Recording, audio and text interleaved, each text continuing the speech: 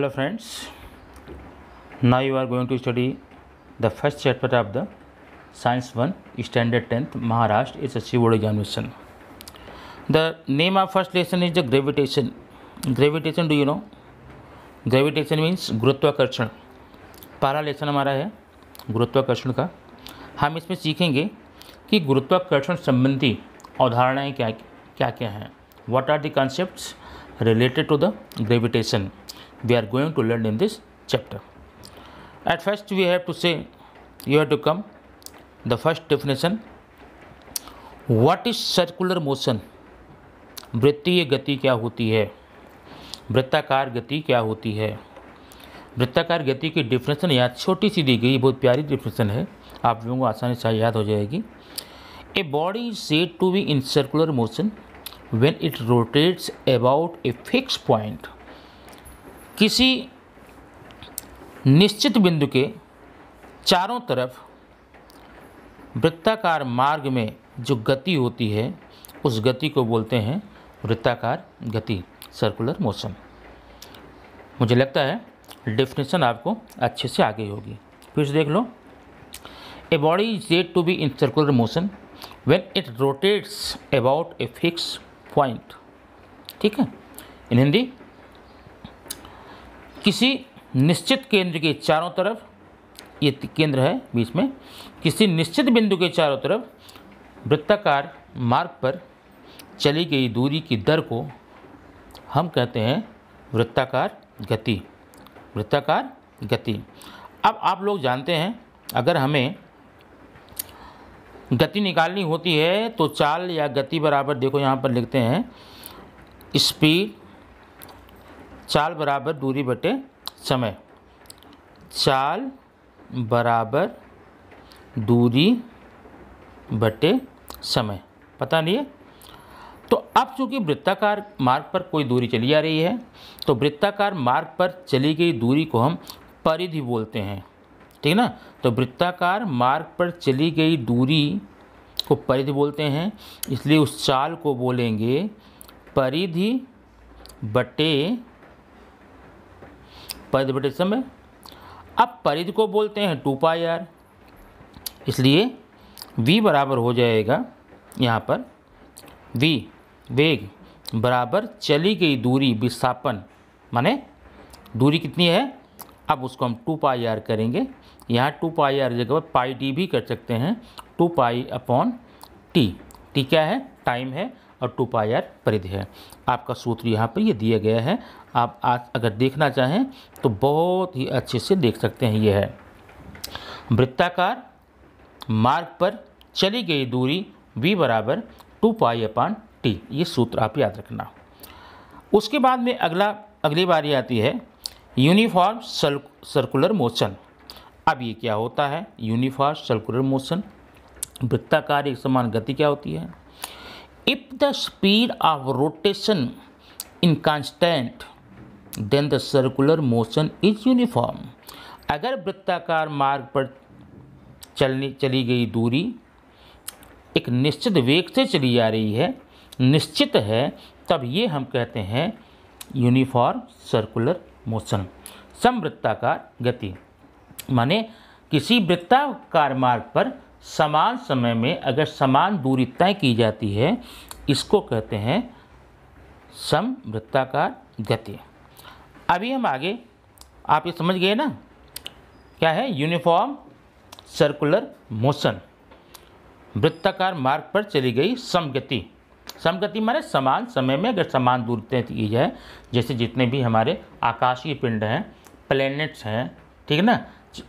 घड़ी की सुई है, चलता हुआ फ़ैन है, ये सारे के सारे यूनिफॉर्म सर्कुलर मोशन के एग्ज़ाम्पल हो सकते हैं। अब आगे हम देखेंगे universal law of gravitation. Gravitation का यूनिवर्सल लॉ क्या है?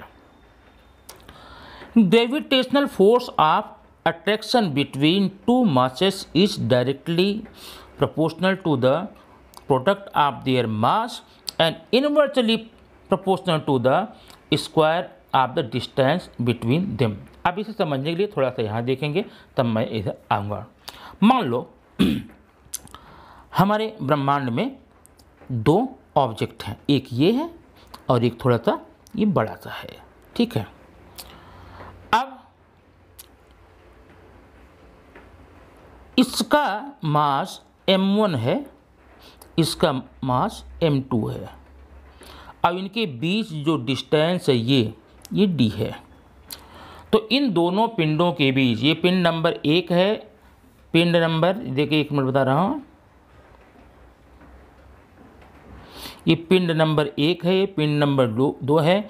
इनके बीच एक प्रकार का आकर्षण बल लगेगा। उस बल को हम दिखाते हैं एफ़ एफ़ बराबर होगा M one into M two ठीक है ना?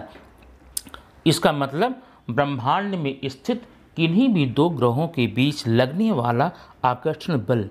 उन दोनों पिंडों के द्रव्यमानों के गुणनफल के समानुपाती होता है। समीकरण नंबर एक, ये डालकर आप रख दीजिए। दूसरा नियम क्या कहता है? दूसरा नियम मैं यहाँ लिख रहा हूँ, आप देखिएगा। एफ़ बराबर होता है, या मैं थोड़ा चेंज करता हूँ, इंक। एफ़ बराबर होता है, इनके बीच की दूरी के वर्ग के व्युत्क्रमानुपाती। Indirectly proportion to the square of distance gap difference between the object तो ये इक्वेशन नंबर टू हो गया। इक्वेशन नंबर फ़र्स्ट क्या है? F sorry F proportional to M one into M two और दूसरा F proportional to one upon D square अब equation number अगर वन और टू दोनों को मिलाएँ तो हमको मिलेगा F proportional to M one into M two upon D square ठीक है? अब अगर हम एफ़ को हटाना चाहें तो मिल जाएगा F equal to G M one M two upon D square अब ये जी जो है, ये कांस्टेंट है। गुरुत्वाकर्षण नियतांक है कैपिटल जी इसकी वैल्यू क्या होती है? आप यहाँ पर देखिए। आप आप यहाँ पर समझिए यहाँ पर। यहाँ पर क्या लिखा गया है?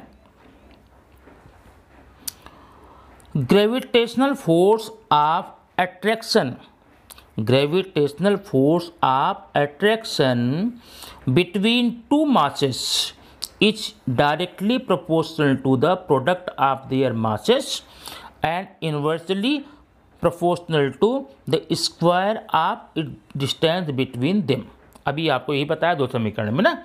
किन्हीं भी दो पिंडों के बीच लगने वाला आकर्षण बल उन पिंडों के द्रव्यमान के गुणनफल के समानुपाती होता है और उन पिंडों के बीच की दूरी के वर्ग के व्युत्क्रमानुपाती होता है। मतलब अब यहाँ आप देख सकते हैं, ये देखिए आप ज़रा, ये पहला है a proportional to M one into M two अब यहाँ पर कैपिटल एम स्मॉल एम दिया गया है, आप जैसे कर सकते हैं एम वन एम टू कर सकते हैं। नंबर एक M and M are the masses of the two objects and second F proportional to one upon D square अब दोनों को मिलाएँगे तो मैंने आपको जी निकाल दिखाया। और जी का मान ये आप याद रखिए हमेशा बहुत काम का होता है। G equal to six point six seven three into ten raise power minus eleven newton square per K G square तो यह proportional to one R square अब इसको आप समझिए। यहाँ पर। इनवर्स स्क्वायर लॉ क्या होता है? Weight is the gravitational force of an object अब अगर ये देखिए वेट की परिभाषा आप याद कर लीजिए। भार भार किसे कहते हैं? किसी पिंड पर पृथ्वी द्वारा लगाए गए आकर्षण बल को या गुरुत्वाकर्षण बल को उस पिंड का भार कहते हैं। किसी पिंड पर पृथ्वी या किसी पिंड को पृथ्वी जितने बल से नीचे खींचती है, उसी बल की अमाउंट को ही हम भार कहते हैं। याद रखिएगा, ये भार को, भार जो है, ये एक गुरुत्वाकर्षण बल है। जबकि weightless in outer space happens because of the weight of the orbiting body is use to the provide the centripetal force इसका मतलब अगर जब स्पेस में जाते हैं तो वहाँ पर हमें वेट कम दिखाई दे, वेट हमारा रिड्यूस हो जाता है। क्यों? क्योंकि वो जो बल है ना, जो वेट है, वो खर्च हो जाता है वृत्ताकार गति करते हुए पिंड में, उसके अभिकेंद्र बल में प्रयुक्त हो जाता है। ठीक है ना? इसलिए वह बल खत्म हो जाता है। ये तो आपका रहा गुरुत्वाकर्षण नियतांक। अब हम देखेंगे आपके लिए यहाँ पर छोटा सा है, कैपलेट सा, लेकिन बहुत ही इंपॉर्टेंट है। तीन नियम इसके हैं, आप छोटे छोटे करके याद रख सकते हैं। पहला नियम है, orbit of planets are elliptical. इसका मतलब ग्रहों की जो कक्षाएँ होती हैं, या सैटेलाइट्स जो कक्षाएँ होती हैं, या आकाशीय पिंडों जो कक्षाएँ होती हैं, वह दीर्घ अंडाकार होती हैं। ठीक है ना? अब दीर्घ अंडाकार मैं बनाऊँ ऐसे। नहीं बन रहा है यहाँ पर ना? चलो ठीक है इसे बनाता हूँ। ऐसे, ए, ऐसे, दीर्घ अंडाकार होती हैं। नंबर एक कैपलेट्स लॉ में पहला क्या हो गया? ग्रहों की कक्षाएँ क्या होती हैं? दीर्घ वृत्ताकार होती हैं, और उसके केंद्र में यहाँ पर सूर्य होता है, ये सन है, ठीक है? सन। दूसरा नियम है planet covers equal area in equal time interval अभी मान लो, ये एक रेखा है, अब ये त्रिज्या है। एक पिंड यहाँ से लेकर के यहाँ तक आया, यहाँ पर, ये यहाँ तक।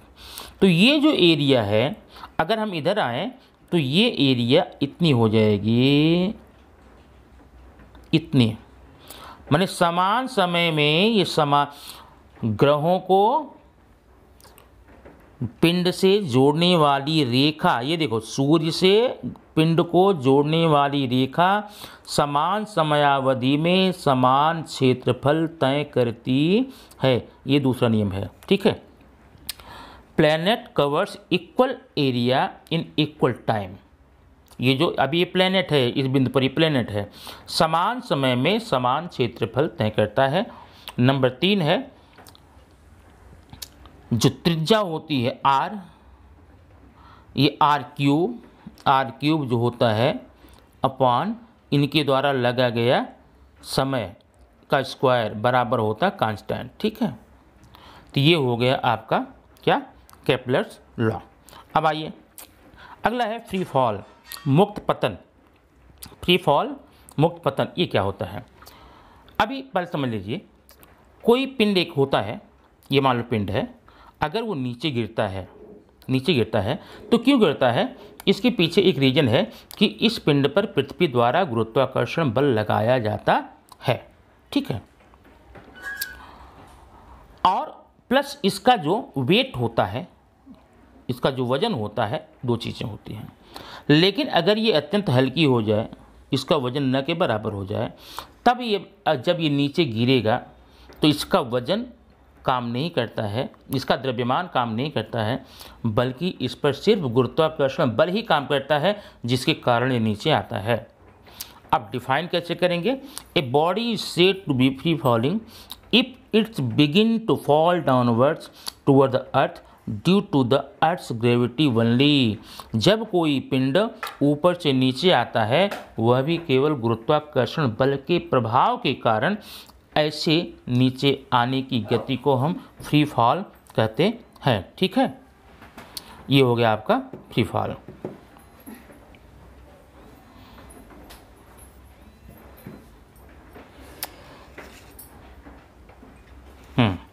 अब नीचे देखिए जरा। अगला फ्री फॉल होने के बाद में आप इसको समझने के लिए थोड़ा सा एक मिनट रुकिए, मैं इसको फ्री फॉल फ्री फॉल मतलब समझ गए ना? फ्री फॉल मतलब कि जब कोई पिंड केवल गुरुत्वाकर्षण बल के प्रभाव में ही ऊपर से नीचे आता है, इसे कहते हैं मुक्त पतन। तो अब यहाँ पर जरा याद याद करिएगा एम जी एम जी क्या है? M into G mass into gravitation force equal to G M M R square G बराबर जी एम आर स्क्वायर आप इसको याद रखिएगा। जी की वैल्यू हमेशा 9.8 मीटर स्क्वायर ये स्टैंडर्ड वैल्यू है। इसके इसके अलावा इसकी वैल्यू और बदलती रहती है। वो धरती के केंद्र से दूरी के आधार पे उसको हम बाद में बताएँगे। अगला। तो ये आप याद रखेंगे। अब ज़रा कुछ टिप्स हैं न्यूमेरिकल आपको हल करने के लिए। वो टिप्स आप देख लेंगे तो बहुत काम की बात होगी। जैसे जी का मान आपको क्या बताया? जी बराबर होता है nine point eight metre per second square, ठीक है? लेकिन अगर कोई वस्तु ऊपर से नीचे जाती है तो इसका मान ऋणात्मक हो जाता है, माइनस हो जाता है, नेगेटिव हो जाता है। और कोई चीज़ ऊपर से नीचे की तरफ़ आ रही है तो वहाँ पर जी का मान पॉजिटिव लगाएँगे। इस, ये टिप्स है, आप इसको ध्यान रखना, ठीक है? और उसके बाद में गति के तीन समीकरण होते हैं। गति के तीन समीकरण में होता क्या मैं पहले आपको डिटेल बता दूँ। यहाँ पर देखिए, अगर कोई चीज़ कोई ऑब्जेक्ट धरती पर क्षैतिज चलती है, तब वहाँ पर पहला समीकरण है v बराबर u प्लस ए टी ठीक है? ये देखो। V क्या है? अंतिम वेग, u प्रारंभिक वेग, a उसका त्वरण है, t टाइम है। सेकंड होता है s equal to U T plus half A T square ठीक है? और थर्ड होता है V square equal to U square plus two A S अब ध्यान ये देना, यहाँ दो चीज़ें हैं। अगर धरातल पर चलती हुई चीज़ में त्वरण है, त्वरण मतलब उनका वेग धीरे धीरे बढ़ रहा है, तब तो आप इस समीकरण को जो यहाँ पर तीन दिया गया अप्लाई करेंगे। नंबर एक नंबर दो नंबर तीन। लेकिन अगर उस पिंड में मंदन है अवतरण है, बात समझ रहे हैं ना? मंदन या अवतरण है माइनस नेगेटिव एक्सेलरेशन है। तो आप हमेशा ए जहाँ जहाँ ए है, वहाँ वहाँ माइनस का यूज़ करेंगे माइनस ए का। जब मंदन है तो एक टिप्स याद रखना। दूसरी बात, जब कोई वस्तु ऊपर से नीचे गमन करती है, ऊपर जाए या नीचे आए, तब एक ही जगह पर आप एक ही जगह पर जी यूज़ करेंगे और यश की जगह पर यच यूज़ करेंगे। ठीक है? जब कोई पिंड ऊपर या नीचे जाता है, जहाँ इस समीकरण में जहाँ आपने ए यूज़ किया, वहाँ पर जी यूज़ करना और जहाँ यस यूज़ किया है, वहाँ पर एच यूज़ करना। और प्लस अगर ऊपर जा रही है तो जी आपका नेगेटिव हो जाएगा, वस्तु नीचे आ रही है तो पॉजिटिव हो जाएगा। इस बात का ध्यान रखना क्वेश्चन हल करते समय। अब दो चीज़ें हैं। एक, देखिए जरा परिभाषा। एक है मास ये। मास क्या होता है? द्रव्यमान। मास मीन्स द्रव्यमान। किसी वस्तु में उपस्थित द्रव्य की मात्रा को उसका हम द्रव्यमान कहते हैं। किसी भी पिंड में, किसी भी ऑब्जेक्ट में, किसी भी वस्तु में जो उसकी द्रव्य की मात्रा होती है, उसको हम द्रव्यमान कहते हैं। It is the amount of matter obtain by the body is called mass आपने यहाँ पर देखा। ठीक है? थर्ड सेकंड है वेट ये देखिए। वेट क्या है? अभी वेट बताया। किसी पिंड पर पृथ्वी जितना गुरुत्वाकर्षण बल आरोपित करती है, उसी गुरुत्वाकर्षण बल को ही हम वेट कहते हैं। तो इसका मतलब इसमें वेट और मास द्रव्यमान और भार में अंतर होता है, कभी इसको एक करके मत मानिएगा। ठीक है? अब इसमें अंतर थोड़ा हम आगे देखेंगे, उसके पहले देख लीजिए, कोई पिंड जब धरती से चंद्रमा पर जाता है तो चंद्रमा पर पिंड का भार धरती की अपेक्षा एक बटे छः गुना हो जाता है। जैसे चंद्रमा पर भार जो होता है, यहाँ पर देखिए, चंद्रमा पर वस्तु का भार बराबर एक बटे छः गुणे पृथ्वी का भार। उसको आप ऐसा करिए, या तो ये है आपका फार्मूला, देखिए weight of object on the moon upon weight of object on the earth equal to one upon six ना? इसका मतलब अगर धरती पर किसी वस्तु का भार आपको मालूम है तो चंद्रमा पर निकालना है तो उसमें एक बटे छः का गुड़ा कर लो, ये छः का भाग कर दो। और अगर चंद्रमा पर किसी वस्तु का भार आपको मालूम है, उसका भार पृथ्वी पर ज्ञात करना है तो छः गुना कर दो छः का गुड़ा कर दो, आपका भार ये आ जाता है। ये आपको निमेरिकल लगाने के लिए होता है। अब अगला है ऑर्बिटल वेलोसिटी ये क्या होती है? ऑर्बिटल वेलोसिटी यहाँ देखिए।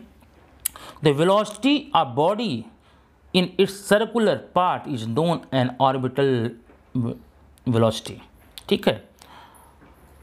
कक्षीय गति, कक्षा की गति क्या बोलते हैं?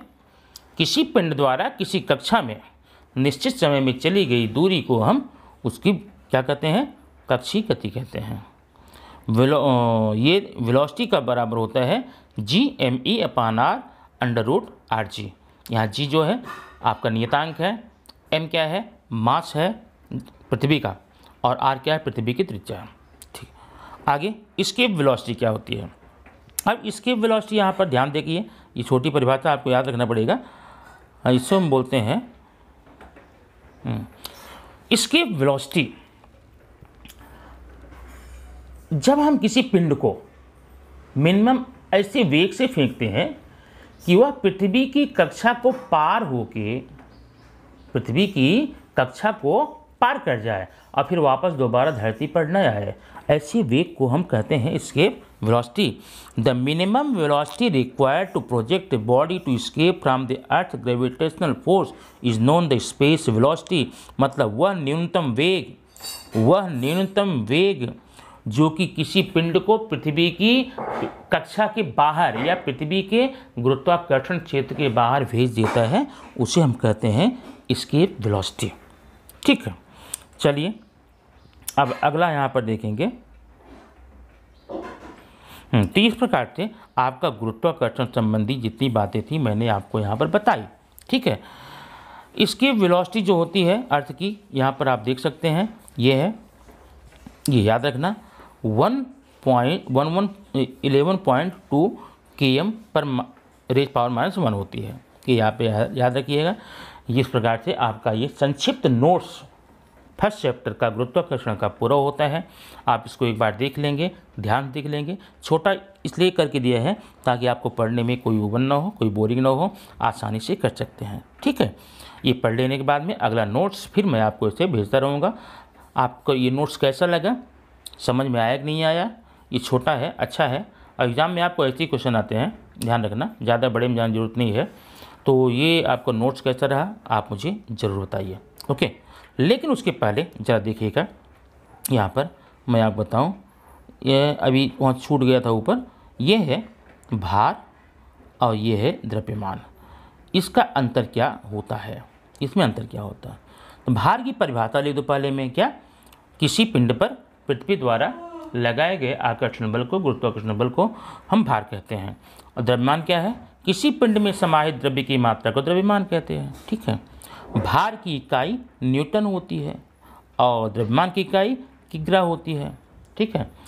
भार का मान हमेशा बदलता रहता है, माने ऊंचाई के आधार पे बदलता रहेगा, जबकि द्रव्यमान हमेशा नियत रहता है। ये तीन अंतर आप याद रखिए, एग्ज़ाम के लिए बहुत ही आपको उपयोगी और ही बहुत सुंदर होगा। आप इसे याद करके आराम से अच्छे नंबर ले सकते हैं, ठीक है? अब देखिए, यहीं पर मैं इसको अब करता हूँ विराम। विराम दूँगा इसको, ठीक है? ये देखिए। थैंक यू अगर आपको ये अच्छा लगा कमेंट दीजिए, फिर ताकि आपको अगला नोट्स हम दे सकें। Okay thank you